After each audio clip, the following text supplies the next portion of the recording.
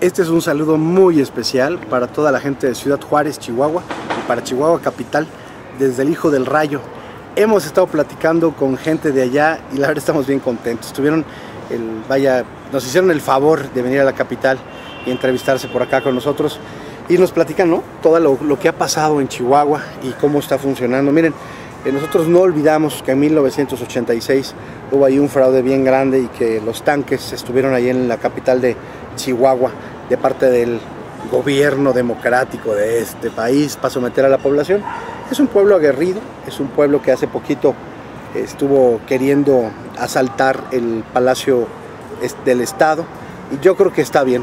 Es gente que tiene bastantes huevos ¿no? y que está haciendo las cosas eh, con mucha dedicación. Yo sé, por lo que nos han platicado, que pues lo que falta mucho es quitar el pensamiento conservador, que es lo que más atora a Chihuahua, a muchos estados del norte también. Pero ¿cómo le vamos a hacer para sacar este pensamiento conservador? Bueno, pues primero les digo ¿eh? a todos allá en Chihuahua. Primero es reconocer lo que somos en realidad. Es muy diferente ser de Chihuahua capital que ser de Juárez. En Juárez, en donde hay mucha gente de todo el país y gente de Centroamérica que ha llegado y ahí se queda, ¿no? Porque ya no cruzó la frontera a los que son nativos y que viven entre pura gente de Chihuahua. Bueno, voy a hablar primero sobre los de Juárez. Y cuando hablamos de Juárez, hablamos de Veracruz, porque también en Juárez hay mucho veracruzano y hay mucho centroamericano.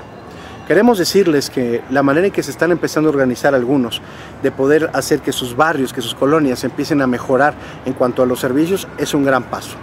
El segundo paso que les pediríamos a todos es que no solamente se organicen para eso cuando haga falta, son como las faenas del campo, donde todos salen y se apoyan. Es un trabajo comunitario muy importante, muy digno y que deberíamos hacer en todos lados.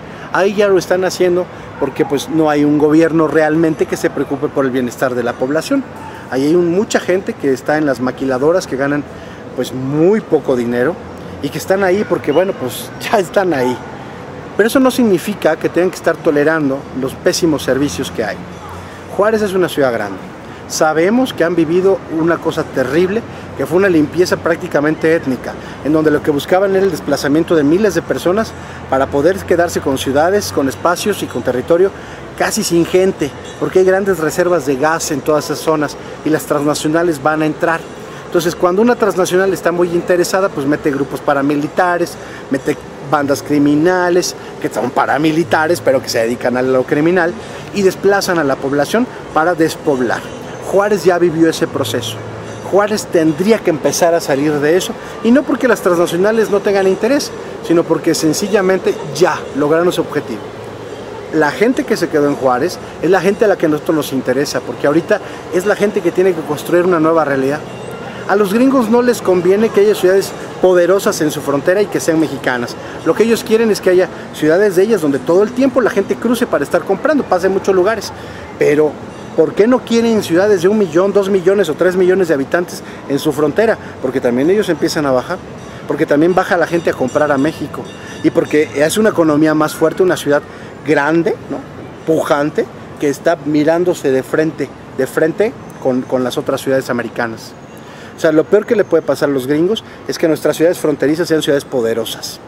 Así que a Juárez le decimos que el futuro es muy importante ahí y que pueden hacerlo. ¿Cómo le vamos a hacer? Ya dijimos, vamos a organizarnos de una mejor manera.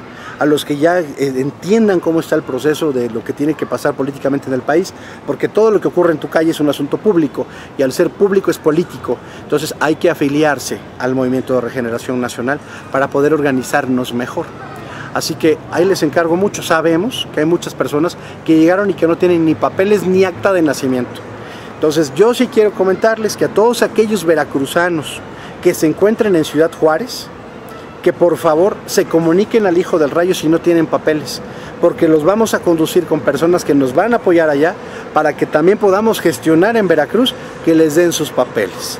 Así que échenos la mano, comuníquense con nosotros, seas del estado que seas, si no tienes papeles, haznos toc toc y vamos a ver cómo te apoyamos para que tengas tacto de nacimiento, para que tengas todo lo que diga quién eres, de dónde eres y que puedas tener una credencial para votar porque tu voto, tu voto en Juárez es determinante para el cambio de lo que estás viviendo en Juárez.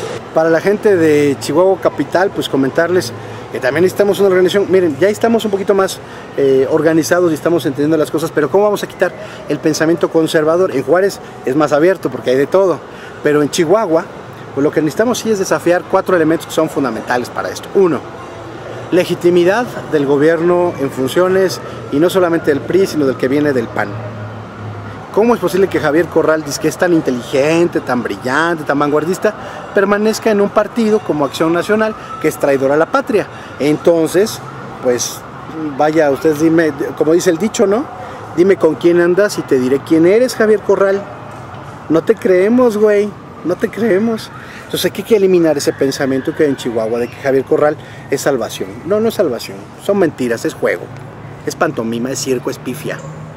Entonces, bueno, vamos a quitar eso. Segunda, pues el asunto de las creencias.